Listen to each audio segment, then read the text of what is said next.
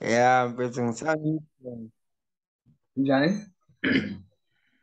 ya ngini ngithi angin- anginijoyine nje mfethu for isikhathi esincane yabo. Oh, alright, okay. Ubu- Ubukade utrade namhlanje? Ya namhlanje bengitrade mfethu eh ya nje khona three pairs nje ngike ngathi ukwabamba nje khona amanye asarana. Okay. Um, ethi sibo ubu-trade amaphi ama-pairs?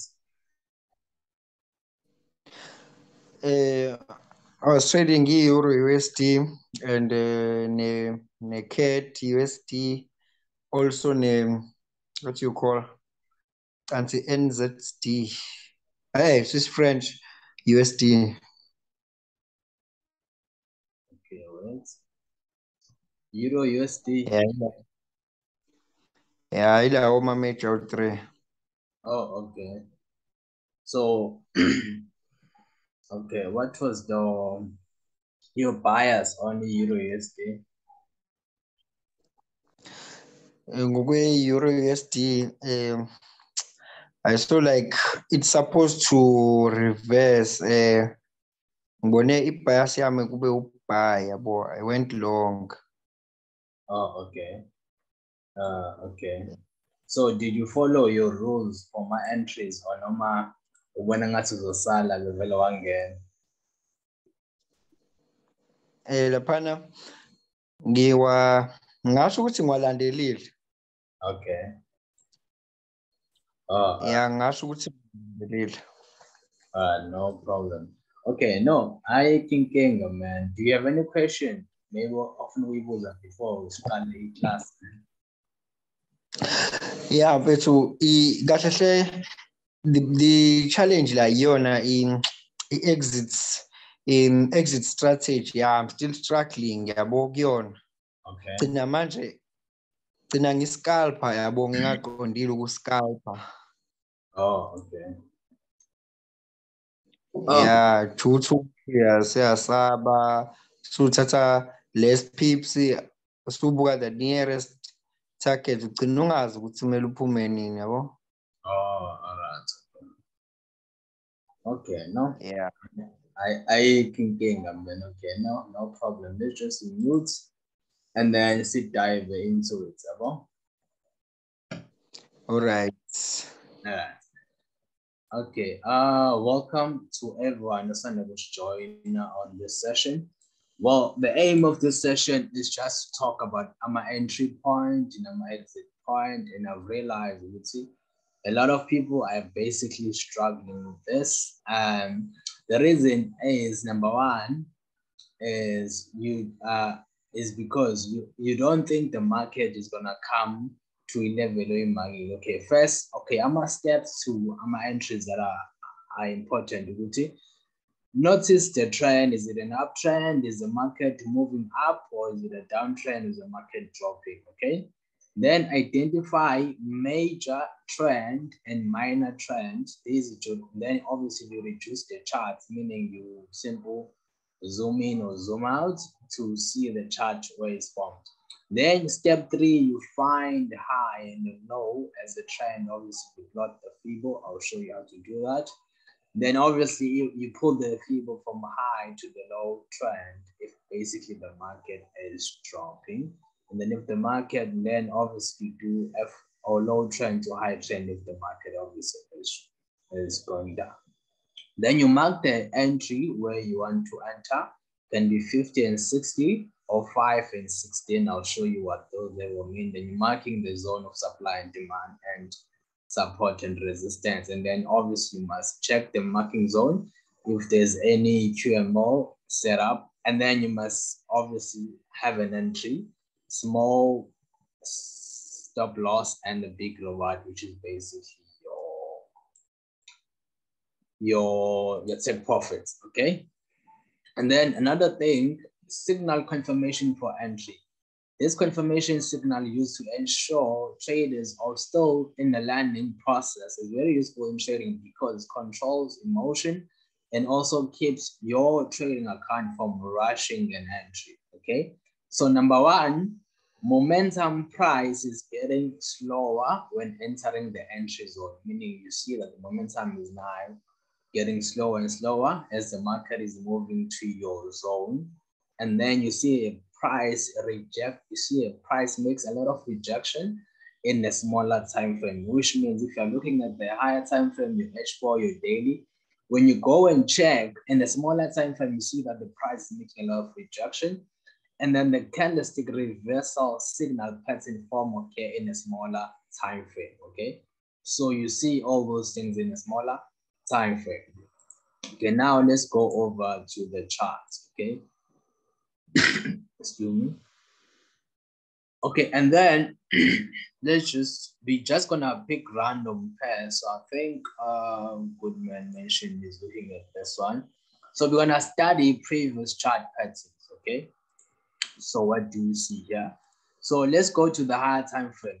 If you take a look at this in the higher time frame, obviously you can see the the the our Euro USD obviously formed this. Okay, firstly, obviously as we mentioned. So from this, this is basically one of the, this is H4, one of the reversal pattern candle. So what you do is firstly, you must identify what you call higher. And you know what, what has been happening with Euro USD has just been ranging. So I don't like trading something that is like this one that is basically a range, not forming any like proper, proper, proper support. Okay, but let me just explain something before we go. Let's just go to the whiteboard. Okay, so if just draw lines, yeah. Okay, so as you can see, I just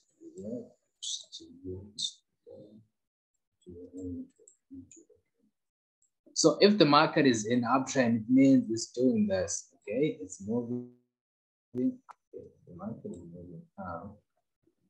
So it's doing this, breaking that level.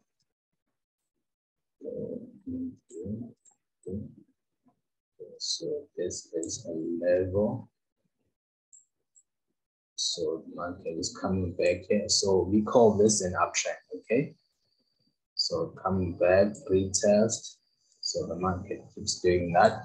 Break, come back, break a level, go up, break a level. So this is what we call an uptrend, okay? So this here is what we call uptrend. In terms of when you study uh, the market structure, okay? And then what you have this side is what we call a downtrend. So the market is creating uh, these levels and then gonna break that level and come back again. This level, then it breaks a level, break that level again, it's come. Okay, so this is basically what we call a downtrend. Okay, so down. So this here is uh, a downtrend. Okay, let's call it drop. Okay, so which means in a uptrend, you're looking for buy opportunities, right? For buy. And then obviously in a downtrend, you're looking for sell. Okay. looking to go short. Okay. So that is basically it. So you see this break coming back to retest on this side. What you want to see, obviously, is when you see this happening here, and also this happening here, you want to look for a sell on the other side, okay? Just go to the charts so we can do that. So the basic thing is when you see a market, let's say, for example, here, this is where, let's say you mark that level, okay, as you can see, the market breaks this level of structure, which was your previously, and then the market moves, and then you mark that as your highest point in the chart. Okay. And you mark that as your low. Okay, but if you zoom out, you can see uh, market actually this was your high, previous high, coming back, and then this was your next high. Market breaks, come back here. Okay, so I'm just gonna highlight this, out a bit. Okay, so now from that high, let's just, if we're taking this high, I don't wanna be all over it. If you take that as your high and you take that as your low. So now we're gonna draw a Fibonacci. So let's just draw this line as our high, draw that line as our low. So from there to that level over there, you'll see how shoot everything.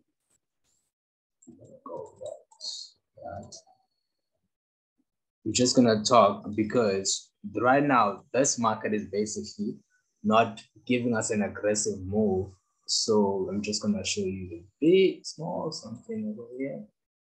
So we're taking that high and that low. So from there, you can see that between and 50 and 60,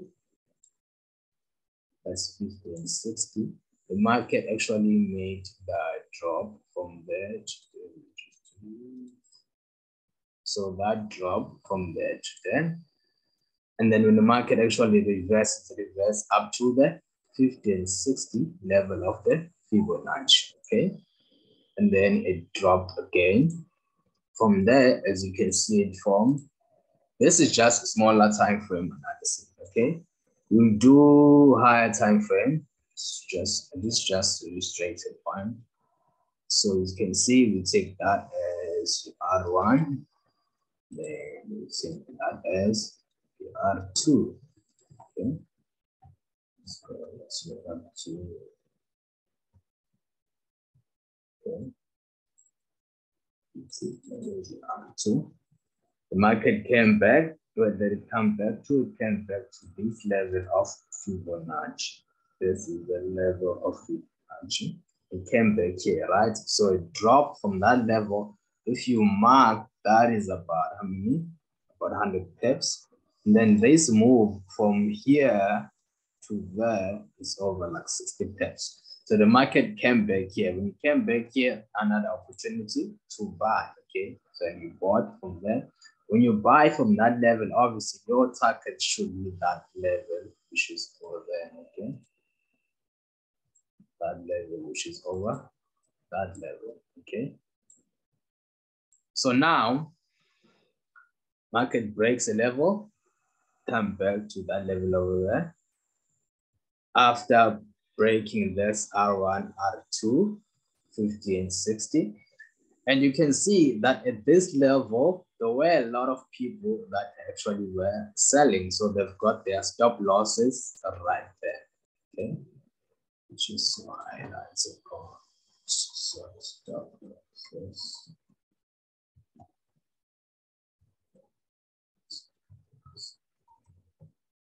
So you've got people that have got their stop losses like that. So the market came back here, you enter your buy. So your buy entry. So your buy entry is here. Okay. Buy entry. So if you take a look at that buy entry, that's between this level of Fibonacci, this level of Fibonacci, that level. So if you mark that, it should give you, it should be about how many pips? So we just calculate that. The SL is going to be below the low. So from that entry to there, it's about 25 pips. From that level to that level, it's about 100 pips. So basically, this means your SL it's gonna be your SR is gonna be 20, no, 25, 25 pips. And TP it's about 100 pips. So you're risking one to gain four. So risk reward is very good. So from there, from that level, from there to there, it's about 25 pips. But from that level, from that entry, which is that entry to there, it's over 100 pips. So obviously, if you use this previous, I'm gonna remove everything so that you can see. I hope this makes sense. If you're not clear about what I'm saying here, you can go in the chat box and just ask questions so that you understand, okay? If you're lost somewhere. So from that, from, from drawing the Fibonacci, you're pulling from this level to that level, then you get this level 61. So you get 61, you get the 50. So when the market drops, come back, it gives you R1, it gives you R2. So that is basically means there's a buildup of liquidity of stop losses over there. When the price comes back to the level of Fibonacci, which is 16 and 5, that is where you will enter a buy again. And then when the price move up and breaks that level, is gonna come back here, which is this level here. Now this level, remember there's this R1, there is R2, which means this is a point of high liquidity. There's a lot of traders that are basically, some have been selling here. So now they are stuck here, right? So what do you expect? You expect the market to come back here, obviously above that level, and then go above. Okay, so we're just to move everything. Let's again. So now it's clear, the chart is clear. So we, we did mark that and we marked that level over there so that can be clear. So you use that, that is, uh, that is your low. So let me just, uh, that is low. And this is your lower low. This is your lower low. Okay. So what I did was I took the Fibonacci and I drew it to that level. So I've got that R1, R2 right here. R1, R2, that level over there. So what do you see? You see that this here is coming back to this level Uh, and I'm expecting to move it up there, okay? Because there's some traders that are stuck here that took a, a sell in this level. So now this was a resistance and it's now becoming what? Support. So now this is becoming support. So we just call it this. Uh,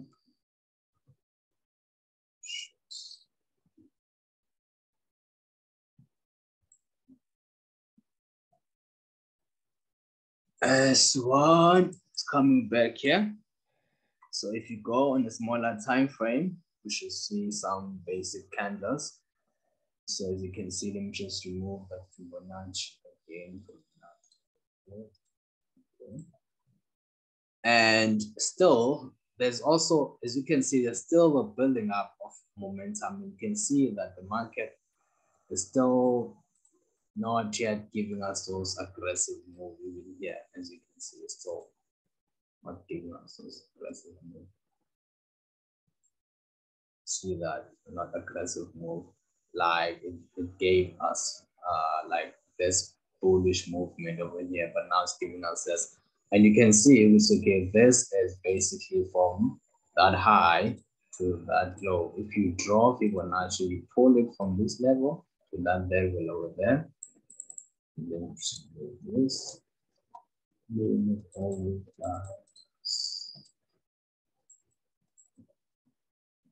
Okay. Yeah, okay. And you can see the 50 and the 60 goes where? Yeah. Yeah, okay. So what you can do, obviously, as you can see, about this year, I can safely say this is one thing that always is uh, like a trap. If you see a certain level of supply and you see another level that is critical below, you know, don't ever take this. You can take it, but as long as your account can survive this movement from that level to that level, this drawdown, if you can survive that, then it's good. But once you see a price coming back here, you just move that to a smaller time frame, just get it proper and And you can see, you see, if you go on the rise to that low, you can see where the market actually is. If you zoom out, you can see what I'm talking about.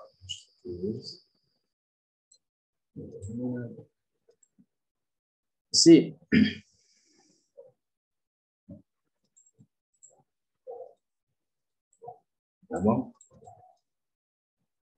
this is the setup of this here, this level is clear what is happening. See, so now up below that level, there is this thing happening here. So this is where the market actually broke a level, which was uh, resistance number two. Okay.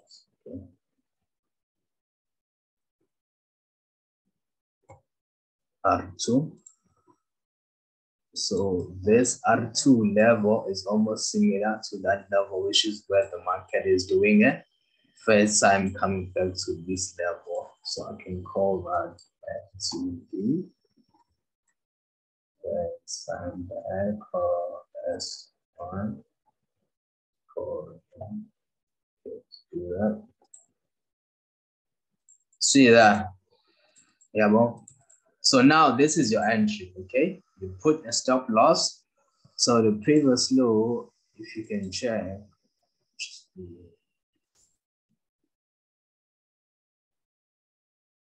okay.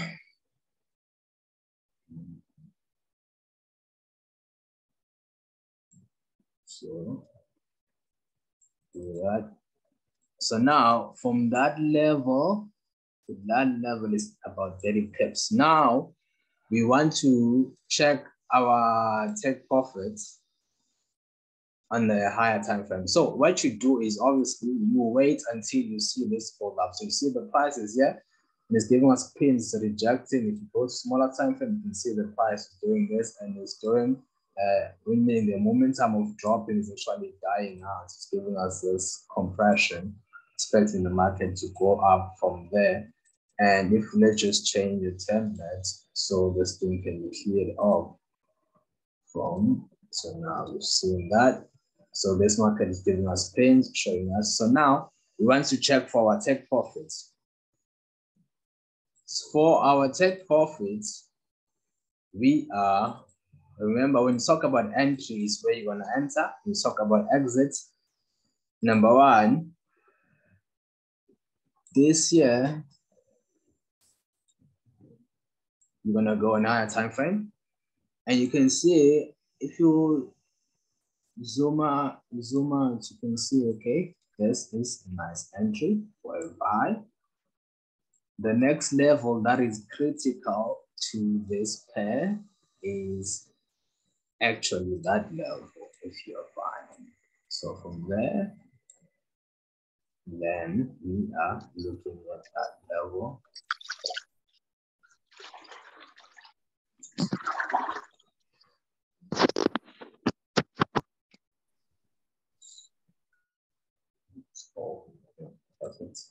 Okay, so now from there to there, that is basically the next level that is important if you are trading this pair, this level over here.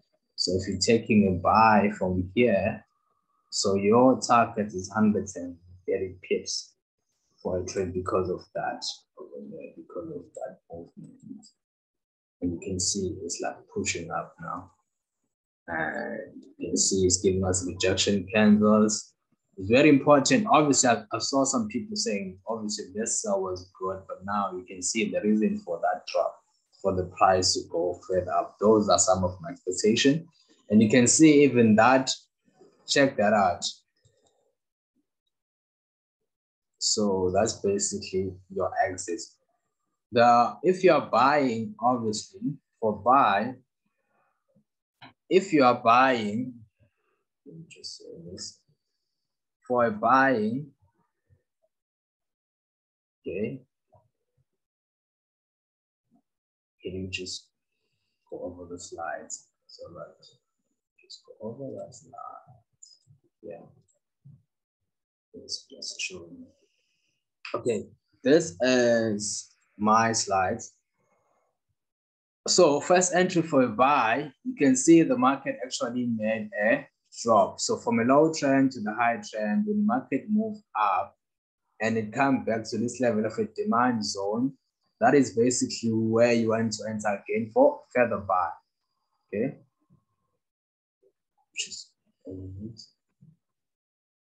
So when when the mark when the market moves to the low, I think it's gonna be clear if I do the charts. Yeah. But let me just give just a graphical example. This is a graphical example. So when the market dropped, when the market drop and come back to this level of 50 and 60, when I put a selling there for a further sell, okay? When the market moves up and it comes back to this level 50 and 61, when I enter another buy to that level over there, okay? Uh, so, but before you buy, you must wait for the price before you buy here. Before you buy, you must wait for the market to get to this level. What is important now is have patience enough that the market will actually get to your level that you actually marked. See that you've marked this level and the market actually managed to go to our, our level that we've marked.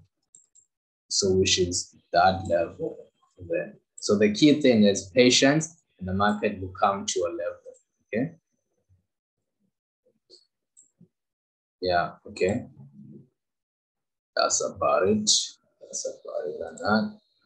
USDT, I think we also we've also shared analysis when you're USDT. So same story as like you're looking for a setup, okay? A setup is a pattern that you're looking for. It's a obviously it differs per strategy, okay? So this is a high that was expected. Why is this high is important is because of this thing that happened over here. Because of that. So that high is important. We just go to H4. The reason I it's important is because there was a break of the structure.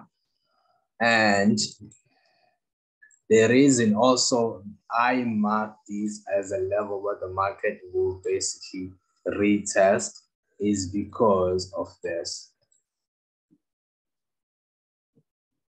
Before the market actually went up here, before this move, the market made a drop here. That drop, one, two, three candles, a lot of traders started selling after this. They saw three drop and they started selling. So when they start selling below that movement, meaning they started selling going down here.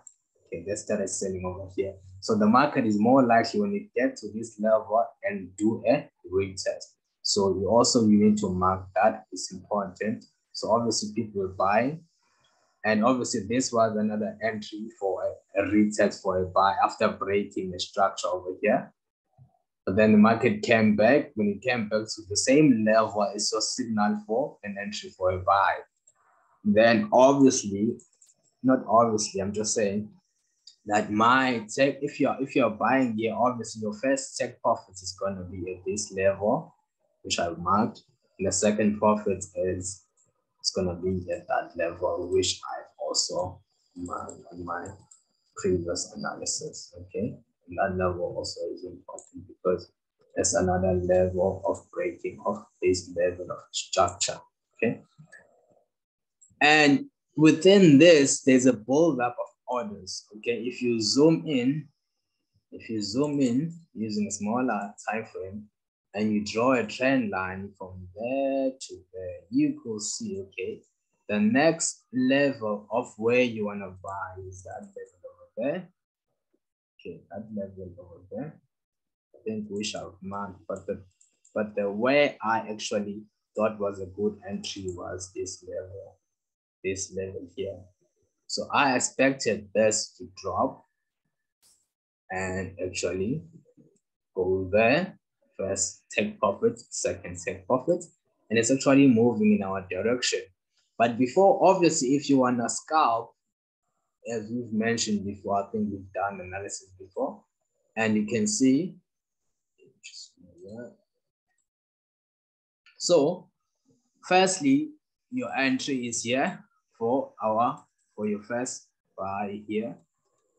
So coming back, your first entry is here for a buy because broke a structure, the market came back. This movement is critical. So that's where you enter for a first buy. Your take profits obviously need to be there at that level of where our candles lapela corner. So this is where your candles, the body of the candle, not the pin, the body of the candles, that's where it stops. And obviously, if you took that, the price actually moved, see that movement, and it went up there. And then obviously because of that flag that is happening there, the price selling will drop again up there to that level again. So your entry after this movement, which is zooming, so you can see here,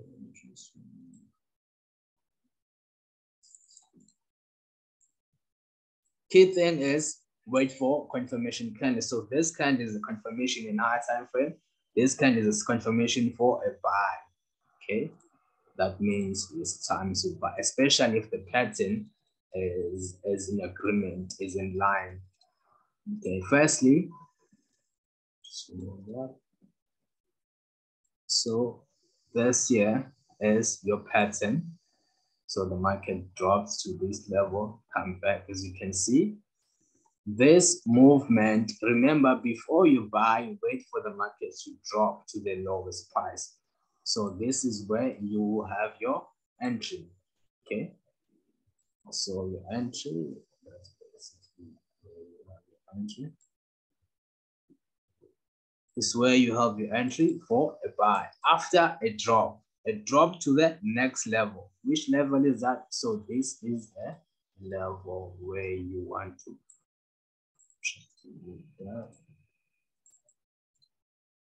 also that.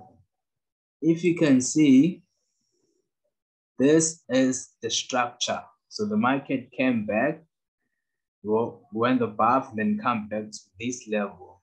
And if you can take that level, the breaking structure coming back, so this is basically your buy.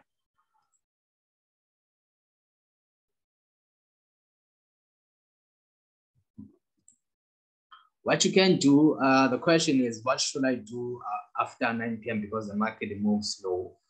What you can do is you don't necessarily have to close all your trade. You can, okay, let me just finish that. So your entry, obviously we've managed to talk about your entries here. You wait for the market to come back to this level once that level is touched, obviously the first thing obviously you can do is use what we call a buy limit. If you're not sure, and then you put your SL over there. So what you do is you go here, select in order, okay. You basically do that. This is your entry. This is your entry level for a buy limit. And obviously this is your stop loss. This is your stop loss just uh, using uh, trading account. Okay. So as SL is going to be here, and entry is going to be here, and your TP obviously is is on that level over there, this level. So which is that accomplished, mission accomplished. And then obviously when the price breaks a level, it's gonna come back and it did come back and retested. Always remember these candles, these candles, when you reach a level of support or a level of demand, any level is important to mark and you just look left. So looking left, this means you're looking what actually going on on this side here. Okay, what is going on this side? Then obviously that's where you enter. Even this candle, see this candle, this candle is means the market is actually, some people will enter after this, after this candle. But the thing is, as you can see, obviously there was this bullish movement after that candle for an hour, then the price came back to retest again. What level is it being retested? This level over here. Okay, you can see the price went up, come back. So what you always must do is when the price move aggressive up, always check take the low and the high and just delete all. Delete. Delete. So when the price move up, always and, and it come back, always mark this, draw that to the low and it will give you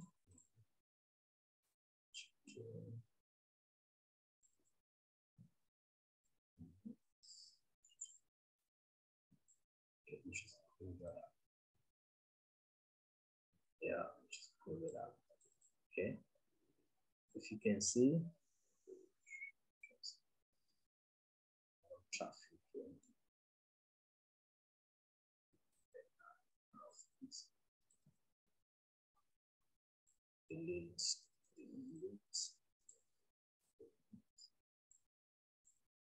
Okay.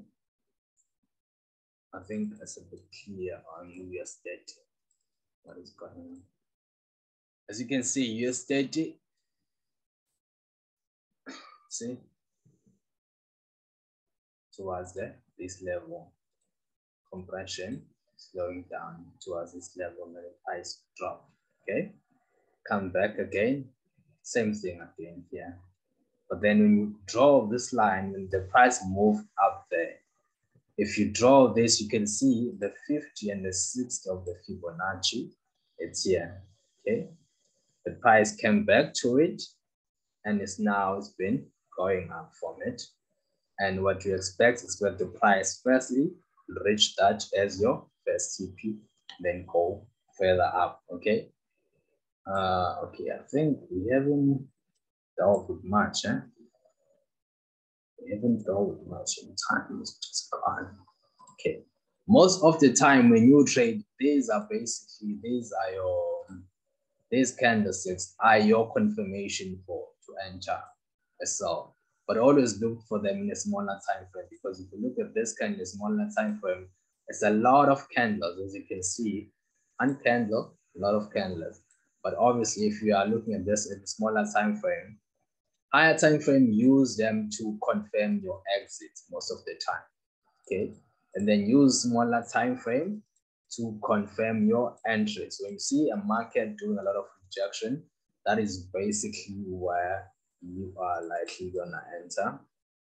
For example, here, a lot, see this price is right there in terms of gold, and that's basically the best entry. And also, obviously, this here might just make you enter early. But when the price drop to this level, that's basically your perfect entry. But just on the highlights, I'm just going to highlight a few points using this.